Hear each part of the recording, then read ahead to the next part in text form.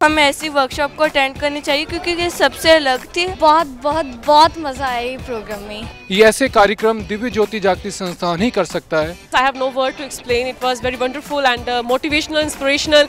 I have enjoyed a lot. Programme attend ਕਰਕੇ ਤਾਂ ਬਹੁਤ ਵਧੀਆ ਲੱਗਿਆ ਕਿਉਂਕਿ ਹਿਊਮਨ ਵੈਲਿਊਜ਼ ਬਾਰੇ ਅੱਜ ਕੱਲ੍ਹ ਦੇ ਸਟੂਡੈਂਟਸ ਨੂੰ ਨਹੀਂ ਪਤਾ ਹੈਗਾ ਜਿਨ੍ਹਾਂ ਬਾਰੇ ਦਿਵੇ ਜੋਤੀ ਜਾਗਰਤੀ ਸੰਸਥਾਨ ਨੇ ਅੱਜ ਕੱਲ ਦੇ ਯੂਥ ਨੂੰ ਸੇਧ ਦਿੱਤੀ ਆ ਤੇ ਮੇਰੇ ਕੋ ਵਰਕਸ਼ਾਪ ਬਹੁਤ ਅੱਛੀ ਲੱਗੀ this is awesome i really like this workshop because uh, i learned many messages from the by through this workshop first time ye program maine attend kiya bahut hi acha laga bahut hi relax feel kar raha hu main मैं ਮੈਂ ਚਾਹਨੀ ਹਾਂ ਕਿ ਇਦਾਂ ਦੇ programme ਪੂਰੇ India ਵਿੱਚ ਹੋਣ India ਕੇ ਪੂਰੇ ਇੰਟਰਨੈਸ਼ਨਲ ਲੈਵਲ ਤੇ ਹੋਣ ये प्रोग्राम बहुत बढ़िया था Spirituality is not outdated. This message has been given to every person. ये समाज के लिए बहुत लाभदायक है I am extremely thankful to everybody who has arranged this.